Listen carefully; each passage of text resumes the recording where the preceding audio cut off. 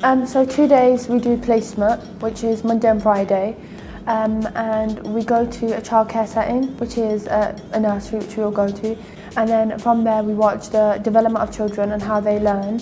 So everything we learn in class, we kind of implement that into a um, nursery setting. The teachers support you really well um, in your work so that you can achieve the best grade and if you are struggling in your grade, they'll push you to get the best grades to achieve.